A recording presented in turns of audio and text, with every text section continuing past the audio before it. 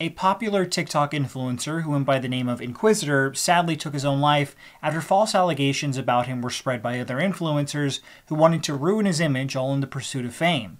After the allegations went viral and Inquisitor started receiving threats, he unfortunately felt the only way out was to end it all, and sadly he did it while live on TikTok for all to see.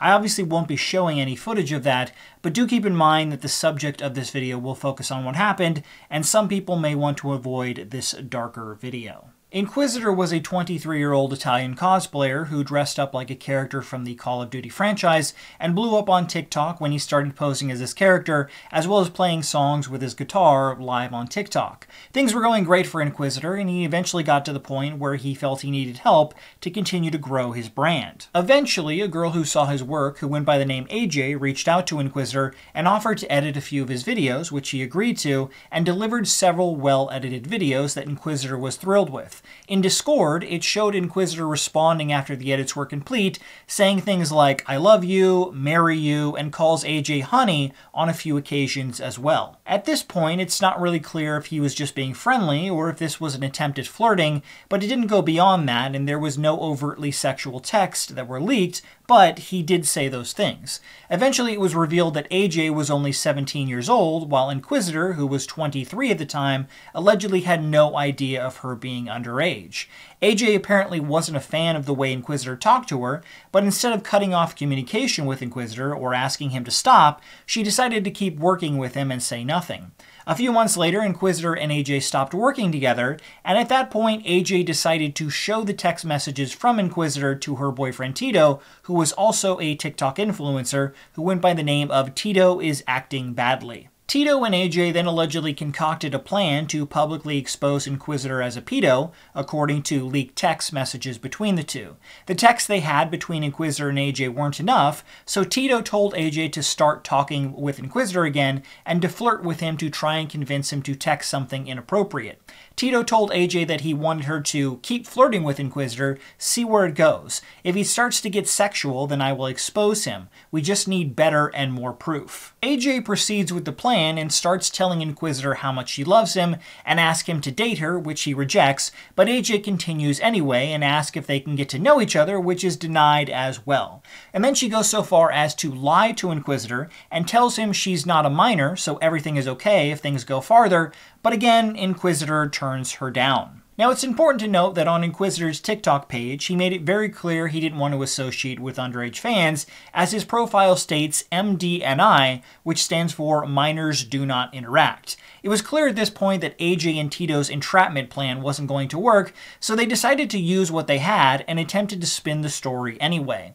AJ allegedly sends the old text messages from Inquisitor saying, I love you and marry me, to a TikToker by the name of Keegan's Mask, but she didn't send any of the later texts showing Inquisitor turning her down and not wanting to make it sexual. Keegan's Mask, not having the full story, decides this would make a great exposing video and releases a TikTok that claimed Inquisitor is a pedo since he was 23 and AJ was 17. Allegations like that obviously went viral, and Inquisitor, despite not doing anything inappropriate with AJ, and despite the fact she lied to him and told him she was an adult, began receiving massive backlash. He eventually deleted his Instagram account after receiving hundreds of hateful messages, but the harassment didn't stop there, and eventually it became too much for Inquisitor to bear, as he felt he would never recover from these allegations.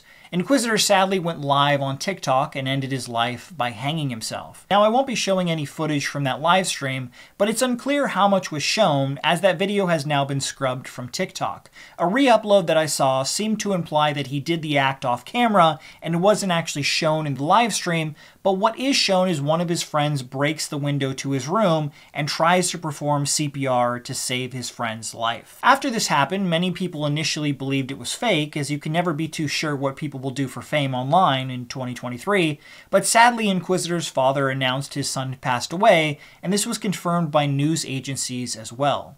Once it was all confirmed to be true, the backlash against Tito, AJ, and Keegan's Mask began to grow, which is when the text messages showing Inquisitor rejecting AJ leaked and proving nothing sexual had ever happened between them. Realizing their attempt to frame Inquisitor as a predator had led to his passing, all three individuals began issuing apologies, asking people to forgive them and stop harassing them. All I'm saying right here is that I want more proof to convince myself that he is a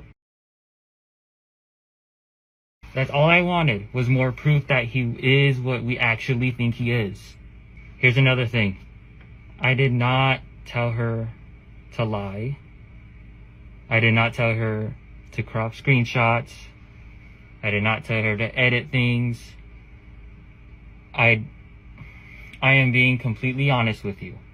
So basically the reason she went back to talk to him was because I needed more proof for myself. I am a man of God. I don't like ruining people's lives. I never wanted to ruin anybody's lives.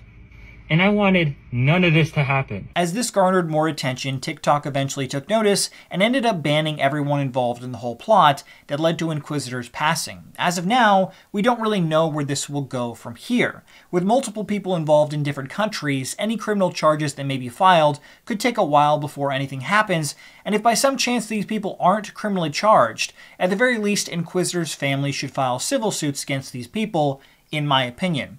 I really am amazed at what a callous online world we live in, where people are willing to ruin someone's life with false allegations just for some internet fame.